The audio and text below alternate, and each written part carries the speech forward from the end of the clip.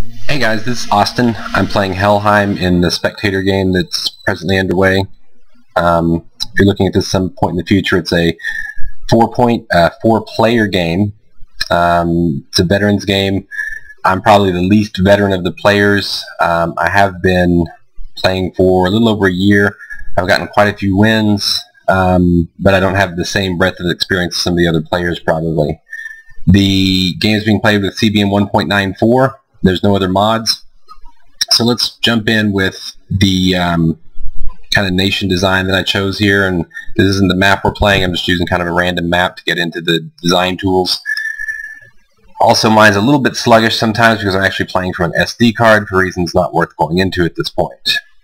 As I said, I'm Helheim. One of the um, interesting things about this game is that the um, magic research is set to easy, so it'll go twice as fast.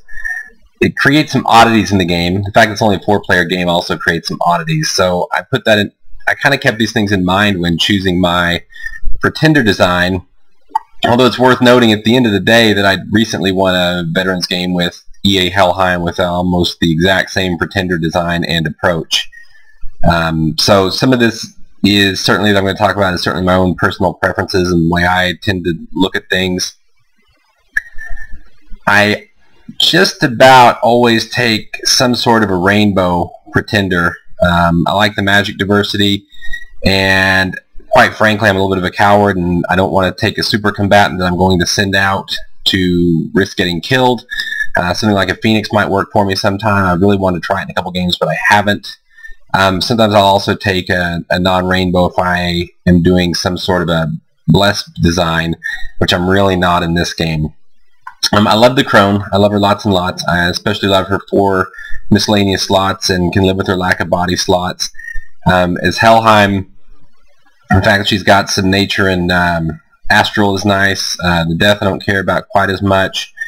Um, you know, I considered a couple other approaches. Ultimately, though, um, on this game, in large part because, as I mentioned earlier, because it is easy magic magic research, and for some other reasons I'm going to go into in a bit, I chose the Great Sage. Um, he's a normal-sized human, normal human chassis. He's only got two paths instead of the Crone's three. He costs 10 instead of the Crone's five. He doesn't have the extra slots. What he does have, though, is 19 research, whereas the Crone only has five.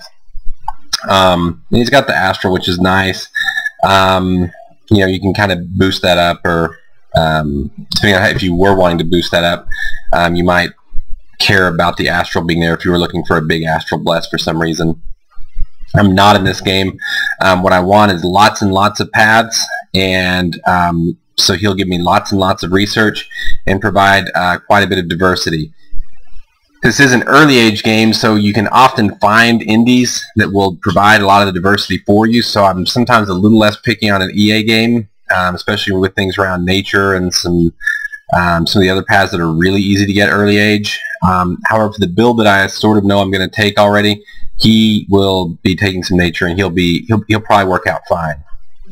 Um, oh, I should also mention, I'm actually doing this while we have turned 30 to the players. So it's a little bit interesting in that I get the kind of wisdom of having played this for 30 turns and I can speak a little bit to what works out or what doesn't or what I wish I might have done differently. But I also lose a little of the, you know, kind of where I was when I was making it. So maybe as we go through this, and I haven't really rebuilt this Pretender um, until just now, so I may end up kind of dawdling about a bit trying to find exact um, um, build I have, and it may be a little bit difficult for, for me to remember the exact reasons that I did them. Um, the first thing is that I should mention is I'm taking him as an awake uh, pretender. The research points that he provides I want right off the bat turn one. It's part of my strategy to get up to speed as quickly as I possibly can. So um, and by up to speed I mean uh, get some early research goals knocked out to enable some of my game plan a little bit more quickly. So I need him awake. That's kind of his purpose is to knock out research pretty much turn one.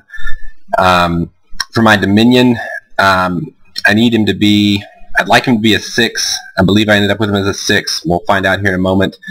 Um, when it comes to doing heat scales, well, let me back up. so Dominion 6. Um, I want a high Dominion, at least a Dominion 6, um, just so I can push out my scales. It's going to be a little bit less critical in this game. I bet I ended up with 5. Um, I like luck a lot, and in games where I take three luck, which I did not do here, then I always try to take a much a higher dominion, at least a six, just so I can push the scales out and get the benefits of luck. Um, but I'm probably less concerned about it here because I can blood sack if I need to. I have a dominion uh, a dominion strength five, but I also have an awake pretender, so I can probably push my scales out pretty well. Um, Helheim has some fairly expensive units, so I'm going to want to try to get my uh, money situation from being a complete disaster. Um, both uh, order and productivity obviously affect that. Growth does a little bit. You know, there's, there's um, temperature scales, um, luck, and then uh, drain. You know what I'm actually going to do? Let's do the magic first. I'm going to change gears just a little bit here. Um, I know with the what I have available in Helheim on my commanders that are nationally um, available by default. I will be hurting for Astral, so I want four points there. I'll have lots of death, um, but i will come back to that in a sec. Um, I want four points of nature, uh, four points of earth. I, I, like to do fours with Helheim. I end up doing a lot of uh, minor blesses. Um, I've actually run out of points here, so um, I should probably go do my scales, I guess. Video suddenly all over the place. So let's go back to scale, sorry. So if I'm doing um, a Dom 5, which I suspect I probably am, I'd really like to have a point of order. Um, like I said, my, my, I'd like to have three points of order, but I'm not simply not going to have enough points for everything. Um, I can, uh, my units are fairly expensive. Um, I'm going to need a lot of income, but I may not be able to actually swing that. My resources aren't as big of a deal, really. Um, I do have some somewhat high resource units, but nothing outrageous. Um, one place I always look for an opportunity to make up some design points is with my uh, temperature scales. Um, Helheim by default wants cold 1. I usually go, you know, ideally get a nation that wants cold 2 or 3 just for lots of points, um, or heat 2 or 3. Um, in this case, you get the cold one for free. I'm going cold too for a couple reasons. One is that there's some, uh, you know, C'tis is in this game with all of the cold-blooded units that they feature. The cold scales are good for me. Plus, even though you do get a loss of income on cold 2, during the summer, a lot of your provinces are going to end up being cold 1, and if I'm only down 5 anyway, I'm probably not pushing my, my Dominion out that strong, so I probably will be pretty okay with the income part of this. Um, I am planning on blood hunting a lot, so as a result, I'm going to uh, want, I'd love to have growth 3, especially in regular uh, CBM 194 because of the, uh, not even the income, but the growth, almost getting a full percent of growth is pretty outrageous. Um, I don't have the design points for it, and this is a shorter game probably because only four players, so some of the benefits of growth 3 go away. I'm primarily looking at growth one just as a means to make my blood hunting slightly more sustainable, and you know, this little bit of growth, a little bit of income are both also useful. Um, I'm going to go luck one because, um, like I say, I'm kind of a whore for luck scales. Um, I just uh, played some games with misfortune; it doesn't work out very well for me.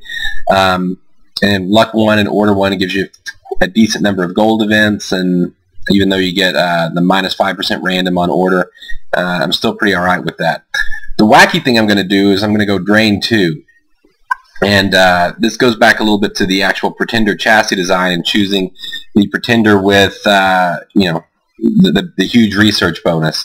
Um, with easy magic in this game, I can offset an awful lot of my drain deficiencies with the with the Awake Pretender.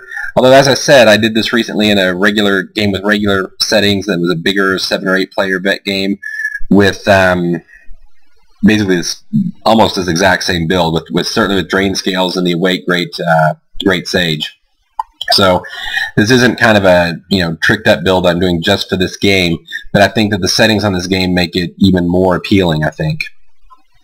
So ended up with basically two, two ended up with two negative scales being ultimately at the end of the thing. Um, you know, I've got a one negative on sloth and two on cold, which only counts as one for me, and then the two drain is basically where I picked up the points I need to finish my magic.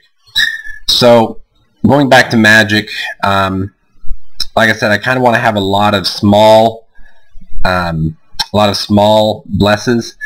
Um, is Helheim the reason for that? I, I guess I'll skip ahead just a little bit.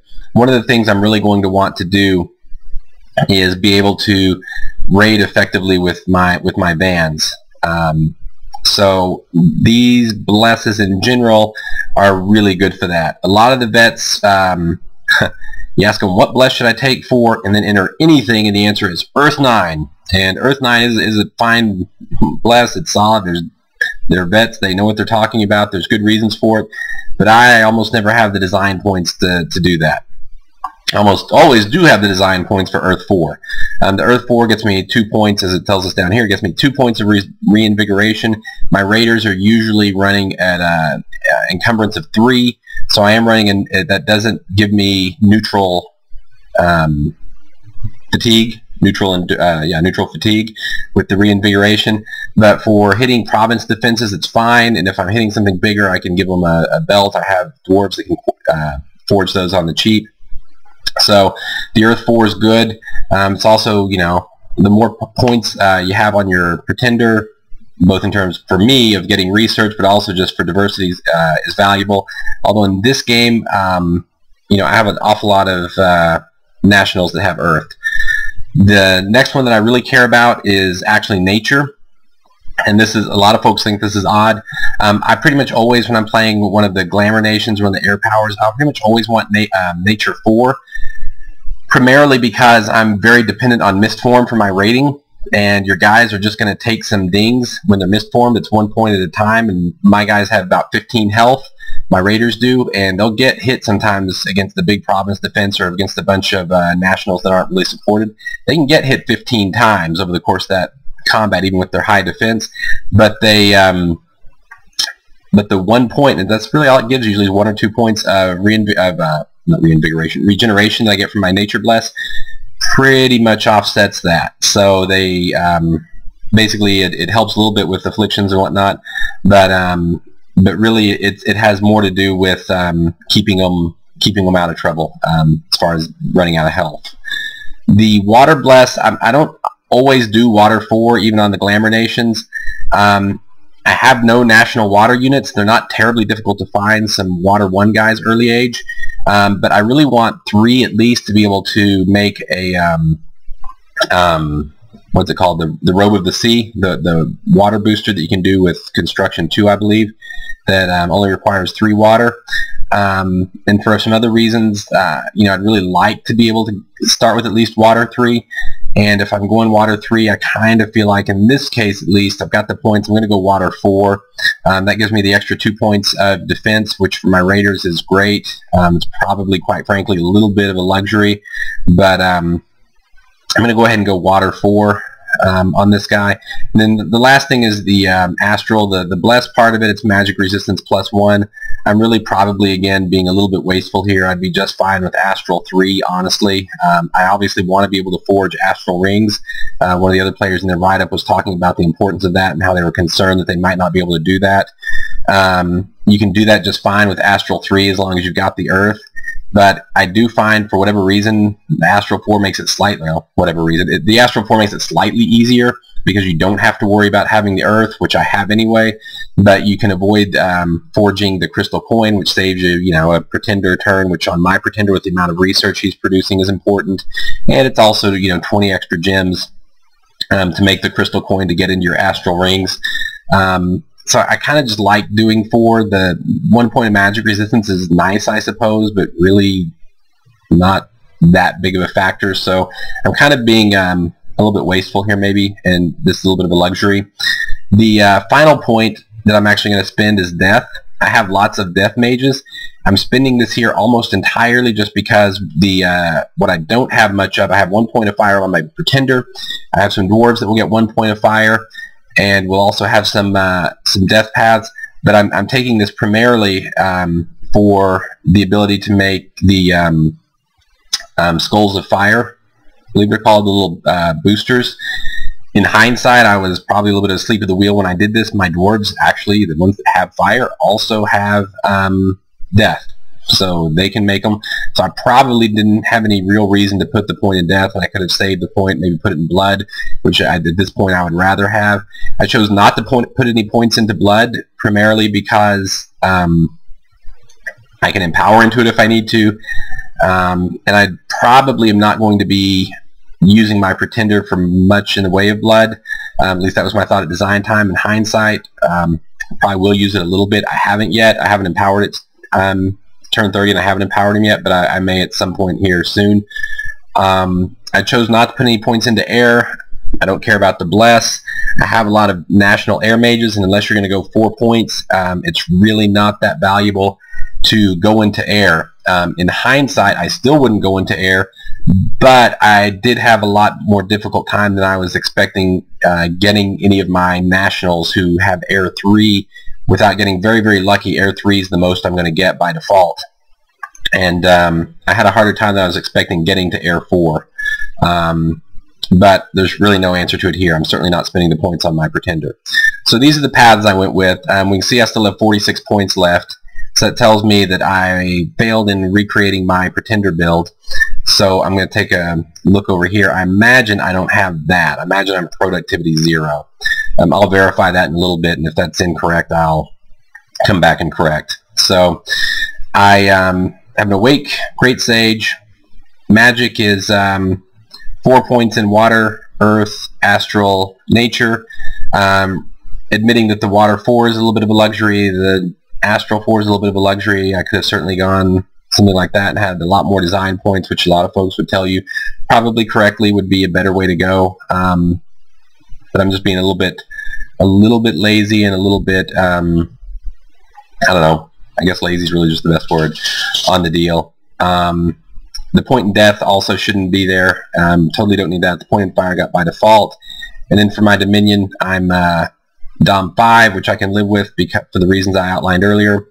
Order 1 gives me a little income. The Cold 2 gives me extra design points, creates more cold dominion, which is good considering some of the folks I'm playing, and the income loss really won't affect me. The growth offsets my blood hunting luck because I love it, and uh, the drain I'll get to a little bit more later on, but is being offset by easy, in large part by easy magic research, and also by um, the pretender design. So I've gone on here probably longer than I should, so we'll cut this one short. Uh, well, not short. We'll stop now, and we'll pick up maybe looking at the nation itself in the first couple turns um, with the next one.